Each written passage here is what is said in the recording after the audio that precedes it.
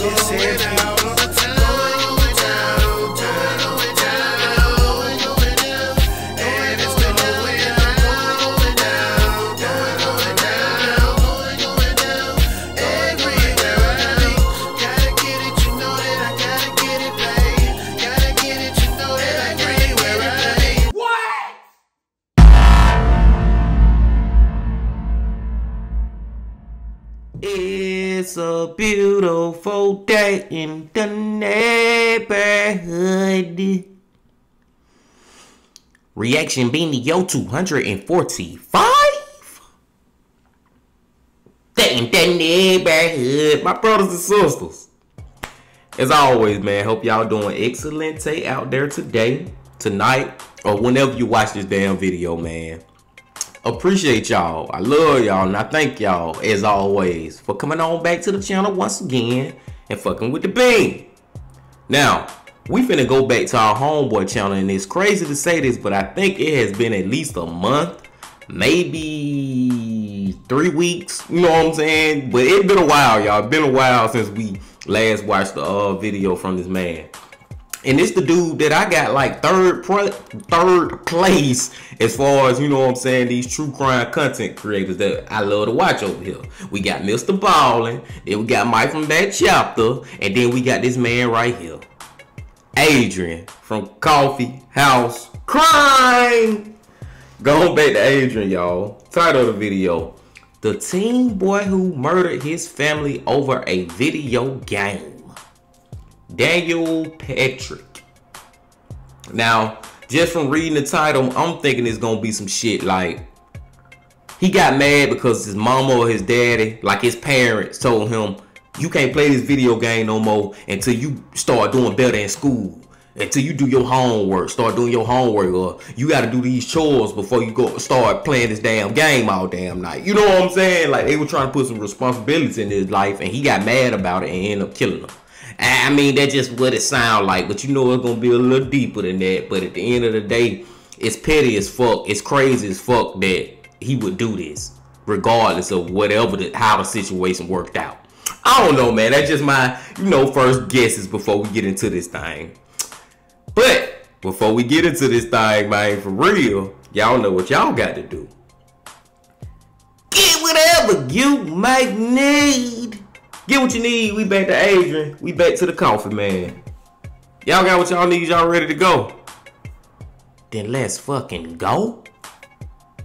We all have disagreements within our family be it over trivial things like what to watch on TV, or more serious issues like finances and partners. But when stubborn child Daniel Petric clashed with his parents over a copy of Halo 3, their battle would end in the most unthinkable of ways, leaving one dead and another fighting for their life. Daniel's story would not stop there either. Outrage aside, it was the next case to spark nationwide debate over the video game industry, and further question the notion of violence for entertainment.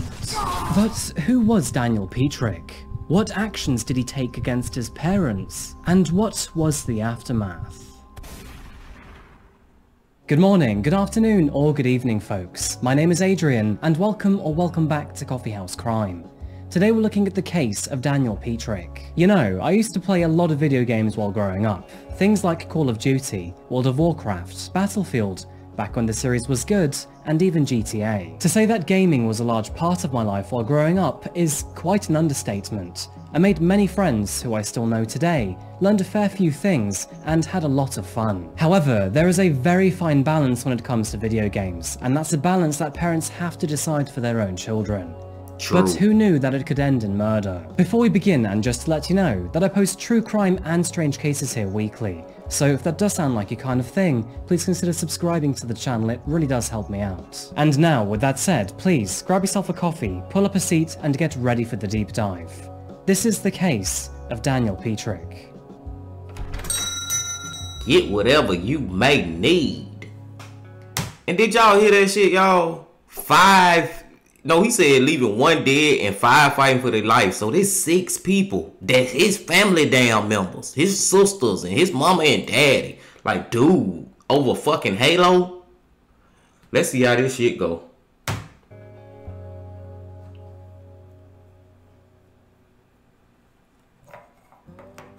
Well, well, Wellington, isn't it good to see you? Touch down in the city of Cleveland and head 30 miles southwest, and you'll find yourself traveling through the small town of Wellington, Ohio. With a meager population of 5,000 residents, Wellington is best described as a quiet town with plenty of charm. As you can likely imagine, not that much goes on here. Most of what Wellington has to offer includes the great outdoors. The town has a library, a middle school, a town hall, and this weird train thing, whatever it is Not a lot for a young kid to do, as you can likely guess. And this is perhaps something to keep in mind while going through our case today. Anyway, it's here in the leafy neighbourhoods of Wellington that we find the Petric family. Susan Petric, aged 43, and her husband Mark were the proud parents of their two daughters Heidi and Holly, and of course their son, Daniel. The Petrics were a typical suburban family. Susan and Mark had been married for around 23 years. Focusing on Susan, she was born and raised in Cheverly, Maryland, and it was after attending Valley Forge Christian College in Pennsylvania that she met and fell in love with Mark. At the time that this story takes place, Susan was happily working in Weber's Healthcare, a nursing home found within Wellington. Whereas for Mark, he was a Pentecostal minister at the New Life Assembly of God. As a result, all three children were raised in a Christian household. They were all described as having a good relationship with their parents, and the family home was about as peaceful as a family of five could get. Focusing on our main character of the story today, Daniel Petric was a 16-year-old kid who fit the American standard. Born on August the 24th, 1991, he was 16 years old at the time this story took place. Growing up, his friends and family described him as a normal and happy teenager fun to be around and friendly to talk to. To add to this, he also appeared to be very enthusiastic about the Bible in his younger teen years, and remained out of trouble while at school too. And although he may not have been the brightest crayon in the box, he certainly was not the most dull either, and was able to consistently achieve average to good school grades. Being a teenager growing up in a small American town, it is no surprise that Daniel found quite a large interest in video games, and unfortunately, after a spinal injury, this interest would continue to grow. After contracting a spinal injury during a skiing holiday, Daniel was housebound for more than an entire year. As a result, the TV became his best friend, and eventually the Xbox did too. But herein lies the problem, because although Mark didn't mind video games, he despised violent ones, and that's when Daniel started to take an interest. You see, at the time, in the year 2007, parents were not too sure what to think about violent video games. The realism was relatively new, and they didn't know how it would affect their children. Actually, even I faced this issue. I was 15 years old at the time, and my mum was not comfortable with the game GTA. In fact, it was banned in the family house, and so I snuck around a friend's house to play it instead. You know, at the time it really aggravated me, but I guess in hindsight I fully understand why she was uncomfortable. So, I guess mum, I'm sorry. Anyway, this was when Hey, real quick, y'all. Coffee House ain't telling no lies, man. Now, I don't know about 2007 because I was old enough at that point to buy my own rated M for mature video games, or was I? Now, I was like 16, 17, but I was close enough where I could play them. But back in like the early 2000s, bro, I was first playing Grand Theft Auto when I was like 12 years old, man. You know what I'm saying? Like, I can remember my sister Kiki the one who had to buy me Grand Theft Auto San Andreas. And I remember when we went up into the EB Games. Yes, EB Games. We going back that far. I'm talking to the gamer freaks out there because I used to be one too. I ain't gonna lie. I used to be a gamer freak back in them days. But I can remember going to EB Games and the dude, it was me and my sister, and she had to actually, you know, show her ID and shit to actually pay for the game. And the uh the, the uh worker at the store, he knew that he she was buying it for me, and he was telling her, you know that this got cussing and it got violence and it got this and that. But my sister, she ain't kill. Same thing with my mama. She she knew them games was violent as fuck, but it's just different stroke for different folk. My mama knew that shit wasn't gonna make me grow up and be a crazy motherfucker. But for some kids out here playing them video games, especially back in the day when that shit was fresh like that, GTA just was just mind blowing. Like, oh my god, this is just the most ridiculous. This is not Pac-Man anymore. We're not playing Super Mario and fucking Tetris. This is another level of some fucked up shit. And all parents went cool with it. My mom was cool with it, but all parents went cool with it. Let's go. Daniel and his friends all found an interest in Halo 3, and back in the Petric household, that's when tension began to grow.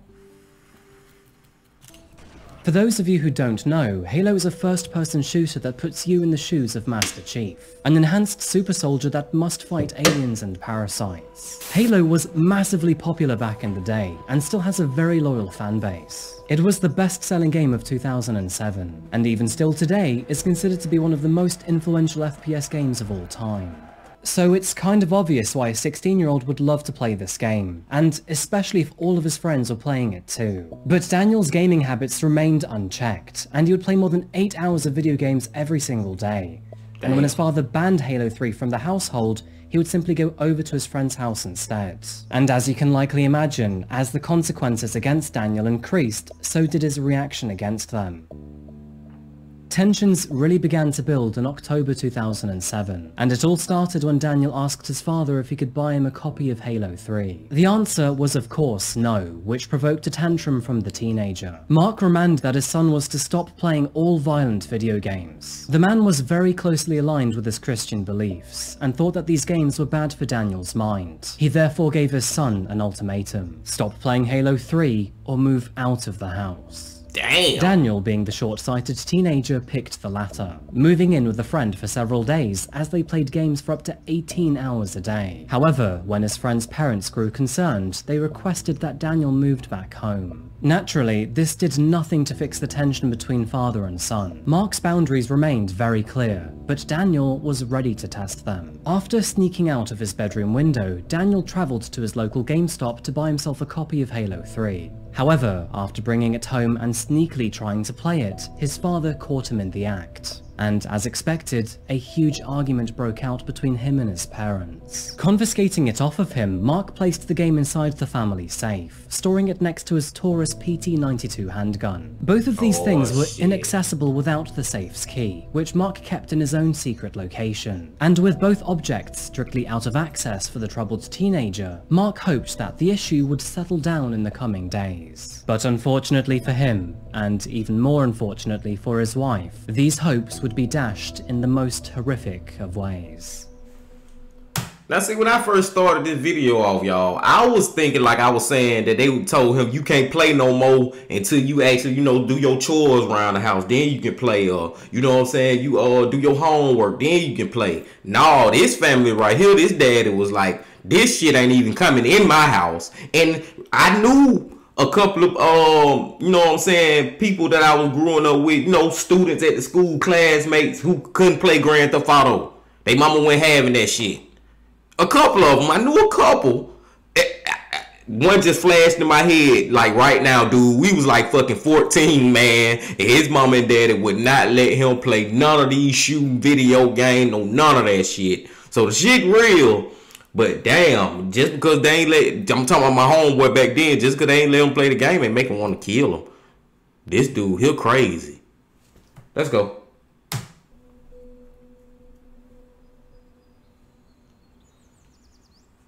October the 20th, 2007 started like any other weekend. It was a Saturday and the Petric family were enjoying their time off. Their older daughter Heidi was expected to come home later that evening where they would all watch baseball together. As the evening approached, Daniel walked into the family living room to talk to his parents. And with a tone of excitement in his voice, he asked them to close their eyes. I have a surprise for you, he said. Mark and Susan were rather shocked by this. Daniel had spent the last few days in a very foul sulk. However, he now appeared to be positive and in an apparently giving mood. Curious to know what his surprise was, they both closed their eyes while remaining seated on the sofa. And with their eyes closed, Mark could hear Daniel walk behind him. With bated breath, he waited with anticipation as to what his son could be up to.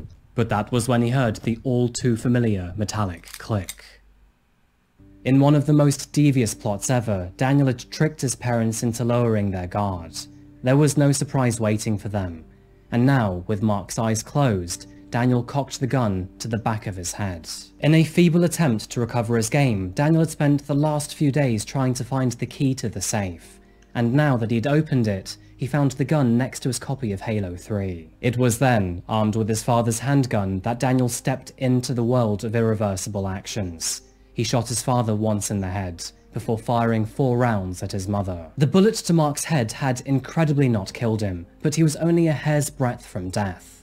As for his mother, she had unfortunately died, making Daniel a cold-blooded killer. It's just the way he did it. He ain't have to do somebody close your eyes and he ain't have to do it like that. He could have just easily walked in that room and just pow pow, pow pow, whatever, while they was on the sofa. The way he did that shit was so evil and fucked up. Now I'm getting mad at Del- Daniel ass. I almost call him the devil because that's some devilish ass shit he did.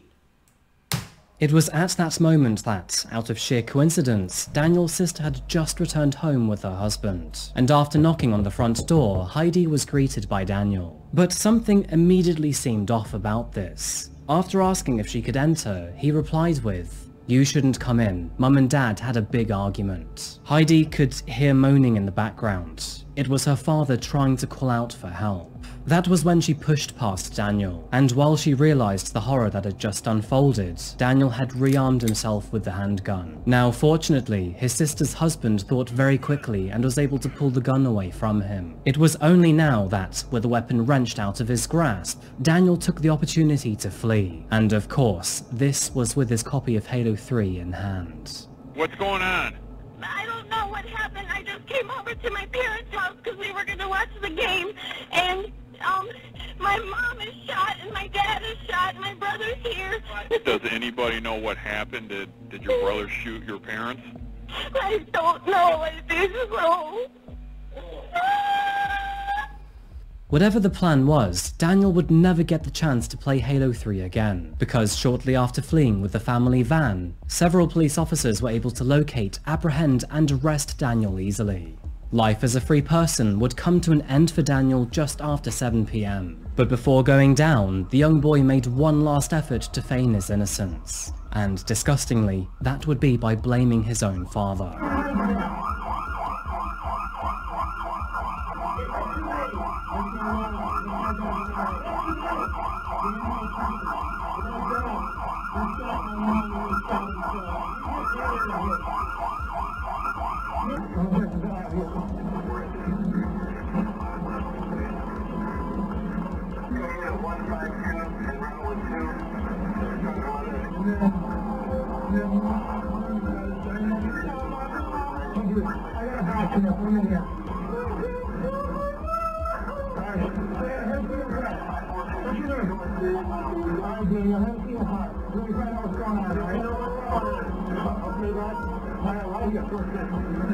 While Daniel began his battle with the law, Susan's body was recovered by forensics while Mark was busy fighting for his life. Susan had been shot three times by Daniel, once in the chest and then the right arm, with a third and final shot to the head. She died almost immediately. As for his father, Mark, he was rushed to the nearest hospital where doctors did their very best to save his life. After feeling his head turn numb through a shattered jaw, Mark fell unconscious and slipped into a coma. In the meanwhile, the interrogation room was not a friendly place for Daniel. Both he and his story were heavily scrutinized under a fine lens. And the harder that officers pushed him, the closer he came to cracking. Hours into the interview, he finally gave up his story and confessed to his evil actions. Although the clip is not publicly available without copyright infringement, Daniel said the following to investigators. I was sitting in my room, and then my dad was just yelling, just screaming at my mum. My dad walked into his bedroom and then walked back out.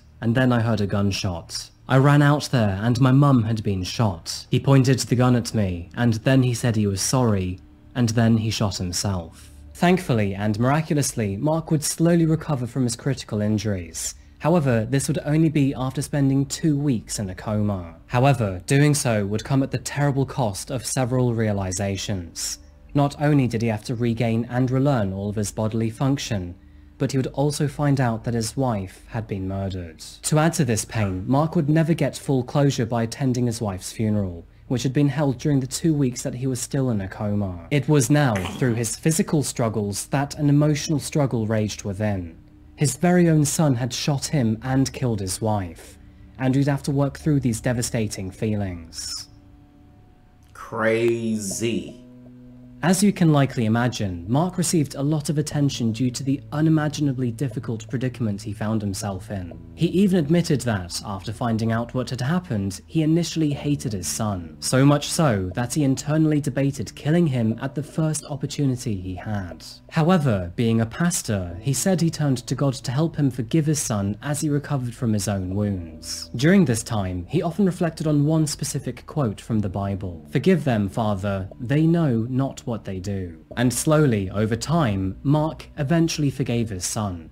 Both of his sisters would eventually too. But in the meantime, and before Daniel's trial would commence, Mark had to recover. It turns out that Daniel's shot towards the back of Mark's head had actually entered through his cheekbone and deflected downwards, shattering his jaw but leaving his brain entirely intact. The bullet Wow. managed to avoid all contact with his brain and cervical spine, giving him a very strong chance at survival and recovery. However, this would not be without spending an entire month in hospital, and accounting for a total of five major surgeries. Mark required reconstruction to his eye socket, the roof of his mouth, and also his jaw. He was unable to speak for a very long while, would often shake, and was understandably left with a very strong case of post-traumatic stress disorder.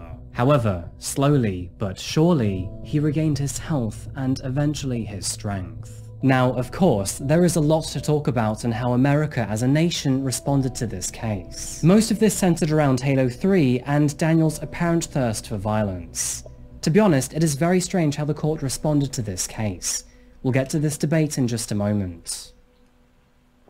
Moving to the legal proceedings of this case, his trial was a surprisingly emotional one. Devoid of anger and blaming, Daniel seemed to show real accountability for his actions, while his family did their very best to show forgiveness. The prosecution disputed that Daniel did not show full remorse for his crimes, and therefore asked for the maximum sentence. However, Daniel's eyes were visibly red from crying throughout the entire trial, especially during statements read to and from his family. Addressing his father, he said, Dad, I miss mum. I miss my mum. I don't understand why I did something so terrible. The defense also argued that, while he did take accountability, it was his parents that gave him the Xbox console, that he was at the mercy of Halo's violent influence, and that Daniel heavily and unnaturally relied on the console for entertainment due to his spinal injuries. It was also highlighted that he never showed any signs of aggression before the murders and had even tried to reason with his parents by seeking guidance on Christian websites. However, the prosecution argued that this was a cold-blooded attempt to murder his parents, motivated by a deep anger after being banned from playing Halo 3. They further highlighted his malicious intent during the murders. Not only did he conduct them with trickery, but he tried to frame his dad too. It was revealed during the trial that, as he lay there dying, Daniel planted the gun into Mark's hand and said, hold on to the gun dad, hold on to it. It was majorly accepted that Daniel had intended to kill his father, and that his life was unintentionally spared when his daughter arrived home early, therefore scuppering Daniel's plans. When it came to his father, Mark could have been the man to save or sink his son's life. As a man who loved his son, but also lost his wife, he faced the most difficult of decisions. He could either seek absolute justice for Susan, or salvage what he had left of his family. Mark responded in the most noble of ways. He would visit his son every week in the months leading up to his trial, listened to his thoughts and feelings, and then went with what he thought was true. Addressing the judge and the courtroom, Mark forgave his son with love and understanding. He said he believed that his son deserved a second chance, only after allowing the pain that runs deep to better him inside. To face and facing the very serious consequences of what he did on October 20th, 2007. I know, without any doubt, he has severe regret, remorse, and guilt over what he did to his mom and I that evening. I can't count the number of times he has told me that he's so sorry for what he did and he'll never be able to forgive himself. I can also count the number of times he has told me that he is so happy that I survived and is so glad to still be able to see me. He's told me that numerous times. I love you, Danny. I can't count the number of times that he said, Dad, I miss mom. I miss mom. His pain runs very deep, and it should. I believe, I believe it should run deep. And if it's, if his pain did not run deep, I guarantee you, I would not be standing here speaking on his behalf. I call him like I see him. And I would not stand here and talk on his behalf if his pain didn't run deep. I know it does. So I'm asking the court on Danny's behalf for a lenient sentence. I'm because Danny does have remorse and regret. And I believe God is a God of forgiveness and a God of second chances. When it came to a verdict, there The lenient my motherfucking ass. I, hey man, hey listen. First of all, y'all, just first of all, I get it. I get it because he a parent, but I just need to. Maybe I just need to ask this question to y'all how I looked at that whole shit. Okay, follow me now. Okay, you a parent. You got your spouse. Yo, and you have a child. Your spouse get murdered by your child. Are you gonna be able to fucking want them to get a lenient sentence? Are you gonna be able to forgive them? You should forgive them. I agree with that part. But the thing is, you can never forget. And not only did he murder your spouse, he actually tried to murder you too. He shot you and thought you was dead. And if uh, your other child didn't show up and stop you from uh, being dead, he would have killed your ass eventually too. I'm just saying, man. Fuck that. At the end of the day, you do the crime, you gotta do the time. I don't give a damn if my child or not. And I'm not a parent yet, so I can't speak from a parent's perspective, so to speak. But it, I just feel like if I had a child and ain't even gotta be murdered my damn wife. You can murder somebody on the street, and if you was in the wrong, you in the wrong, bro. You got to go do your time, man.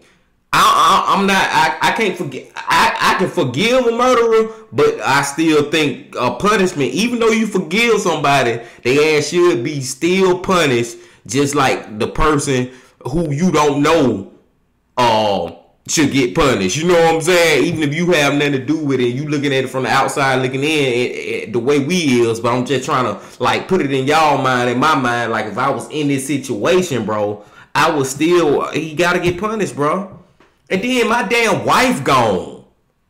You fucked your damn sister's life up. They ain't got no mama no more. I ain't got no fucking wife. You ain't got no mama. You ain't got no sister. You ain't got shit but a jail cell now. That's where your ass need to be. That's just how I look at it. And I hope he get life, y'all. Long story short, short story long. I hope his ass get life or at least goddamn uh or not least at the most the death penalty. One of the two. I hope he get it. There was no nasty surprise awaiting. Since he had waived his right to a jury trial, he was at the very mercy of one single judge. And that judge, named James Burge, would sentence him to life in prison, with a minimum of 23 years behind bars. Therefore, it will be the judgment of law and sentence of the court. Count one, aggravated murder, 20 years at the Lorain Correctional Institute. Counts two and three are allied offenses of count one and are murder. Count four, 10 years at the Lorain Correction- Correctional Institute. Counts five, six, seven, eight, nine, and 10 appear to be allied offenses to count four, and they are merged. Count five year, count 11, five years at the Lorain Correctional Institute. Those sentences will run concurrently. Daniel Petric was convicted of aggravated murder, attempted aggravated murder, and tampering with evidence. But lucky for him, due to his age, he could not be handed the death penalty. Now, the point I found most questionable is how the judge perceived video games and their apparent effect on the human mind. But I guess this was 2007, right? Violent video games were a very hot topic and domestic access to these first-person shooters was still a relatively new thing. Nobody really knew what would happen to children who played it on a daily basis, so everyone assumed the worst. Nevertheless, it really is wild to see grown adults hypothesize that just because a 16-year-old shoots fictional aliens in a video game, that he could murder his parents and expect them to respawn the following day. It really does blow my mind. But anyway, here is the judge's own perspective, which hasn't aged well over the years. I believe in the Halo 3, what it amounts to is uh, a contest to see who can shoot the most aliens who attack. It's my firm belief that after a while, the same physiological responses occur that occur in the ingestion of some drugs. I mean, I believe that an addiction to these games can do the same thing. The dopamine surge, the stimulation of the nucleus accumbens, the same as an addiction. Such that when you stop, your brain won't stand for it. The other dangerous thing about these games, in my opinion, is that when these changes occur, they occur in an environment that is delusional. Because you can shoot these aliens and they're there again the next day. You have to shoot them again. And I firmly believe that Daniel Petric had no idea at the time he hatched this plot that if he killed his parents, they would be dead forever. Ah, But I believe there's hope here. I believe that uh, it will start here and uh, at some point when all is known about Daniel and what occurred here, we will be able to achieve a greater sense of justice. Look, I could probably dive into this narrative on video games and violence for many hours on end, but I don't think I'm going to change any single or collective narrative. However, what I can say is that despite decades of research and scientific studies, there is still no evidence that connects video games to real-world violence. The debate tends to center around false positives, which are stories such as this one that are deemed to be statistically significant, when actually they're just one of chance. One other thing to consider is how many people actually play games. In the year 2022 alone, more than 3 billion people played video games. Damn. And despite the exponential growth in gaming, there is no related growth in child gamer murders. And speaking from personal experience, playing video games like Call of Duty since the age of 13, there was never any point in time that I thought killing someone in real life would mean they respawn the next day.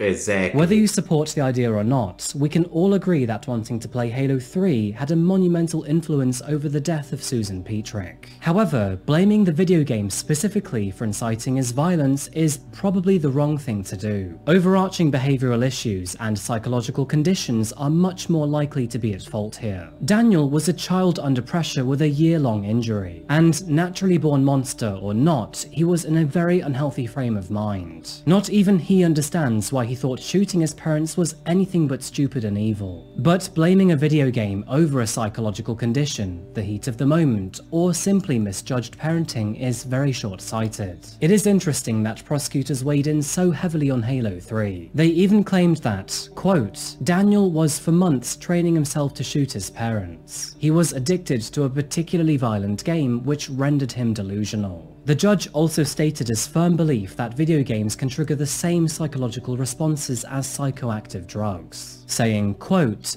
such that when you stop, your brain won't stand for it. There is no scientific proof to these claims, and while I do agree with the sentence that he was given, it feels wrong for a judge to express these beliefs without any psychological background or data. Either way, 23 years behind bars as a minimum is a fitting sentence for coldly shooting his own mother. He will be 40 years old by the time he is eligible for parole, giving him just enough time to have a second chance at life after the terrible actions he had committed. Daniel has since been incarcerated at the Mansfield Correctional Institution, which is found 30 miles southwest of Wellington. He is currently 31 years old and may find freedom in 2030, should he eventually convince a panel of judges. Daniel has since been interviewed multiple times since his sentence. He often shares how he misses absolutely everything about being free. This includes the little things that he often took for granted, before of course losing them. Mark's mental road to recovery was much longer than his physical one. The trial had left him and his family with fresh memories of that awful evening, and despite its eventual conclusion, he still remained without a son and without a wife. There would be light at the end of the tunnel, however. It did take a few years, but he has since remarried to another woman, and although he has romantically been able to move on, he will always remember Susan with great fondness. Sue had always been a woman of both faith and health. After attending a Christian college and regularly attending church, both she and her husband ministered people wherever they went. Her care for others was evident right to the very end of her life. She worked at a nursing home while she also tried her best to raise her children, something that even Daniel admits she did very well. Sue loved many and was loved by many too. This is certain. However, in the end, her death would be at the hands of her very own son. All because of an angry decision in a very poor frame of mind. And who knew that all of this could happen from being banned from a video game? I can already tell that this video will bring up quite a lot of debate about gaming and violence. So what do you think about Daniel Petric's case? Do you think that video games had any influence over his decisions? Or do you think it was something else? Please be kind to each other in the comments, but otherwise I'm going to wrap this case up today folks. Thank you so much for being here for another video today by Coffeehouse Crime. And thank you, Coffeehouse Crime, for that great video that you just put together, bro. And there's so many places I can go real quick, y'all. I there's so many different angles I want to talk about. So what would I talk about first? First of all, rest in peace to Susan. No, no, no doubt. Rest in peace to Sue. Um, I guess the first place I go is the fucking judge, y'all. His statements and shit, he is so off base. He lost the plot. He literally lost the plot. He blaming Halo. All y'all might not be gamers out there. All y'all might now, now never play Halo, but maybe play Call of Duty or any shooting multiplayer game like that. You know, first person team deathmatch. Trust me when I tell y'all this. That damn game ain't have shit to do with it. Now, if it would have been Grand Theft Auto, you maybe could make that argument. But games like Halo and shit, no, ain't nobody thinking just because we shooting aliens that we can kill people in real life and they gonna respawn. No, just because you have fun playing a video game, you can't compare that. The judge was basically comparing playing a video game to somebody smoking crack and the the the addiction and the feeling that it gives them. You know what I'm saying? He was so off base, y'all. He was so off base. Now, like House said, yes, um, Daniel, he do deserve what he got. And being for real, y'all, I hope he don't even get out on parole. He don't need no second chance in life. If you ask me, he need to stay in that motherfucker till he die. He'll be like 40 something when he potentially can get out. Shit, they need to goddamn push that shit back to when he's 67 or something. I'm just saying, man, I don't think he should get out. But the whole thing with the judge about the fucking video games, man, he off, bro. He off. I'm telling y'all, man, Halo is not a video game that turns somebody fucking violent. The only one for real, if you really can think about it, it's been now maybe back in these days, maybe back in these days it was like that. I don't know, man. I just remember Grand Theft Auto, man, because Grand Theft Auto, Halo ain't have no fucking cussing in it, and sex, and selling drugs, and smoking drugs, and and, and fucking and shooting. Like that Grand Theft Auto shoot something different for a little child, man. Now I can see that one, but I just can't see this, man. I just no, man. And even that one, like I said, man, my mama let me play the shit when I was 12 years old. Hey, I'm good. I ain't killed nobody. I don't think if I kill somebody, they gonna come back to life. Or you know what I'm saying? I don't think I can go outside and drive down the road 100 miles per hour, running from the police. Then when they finally catch up to me, I shoot at them. Then they shoot back at me. Then they finally catch me and kill me. Then I'm gonna come back and wake up at the hospital alive. No, I don't think that shit. So I don't even think a lot of kids thought like that back then. But another thing, real quick, it's just amazing how much that the uh, father forgave him though. Like I told y'all, like you, I take that back though, man. He should forget. I ain't gonna even say he should, but I understand him forgiving him. But you should never forget. I can never forget. I can never forget what he did. So that's why he should have got time he got. I can I can say a lot more about this case, man. But I ain't gonna hold y'all no longer, my brothers and sisters. There was a great comeback to a coffee house crime, man. It was a great video to co- excuse me to come back to coffee house crime y'all just make sure y'all keep coming back because you know we're gonna keep on watching these crazy videos. Y'all know y'all know y'all know i need y'all to hit that like button comment subscribe if you ain't man. Subscribe. Fuck with the bean man. We trying to build it up. We building this house up over here. And until i see y'all again my brothers and sisters you know i got to say this. Love, peace, and happiness. Stay safe. Don't stop. Keep going. Yeah.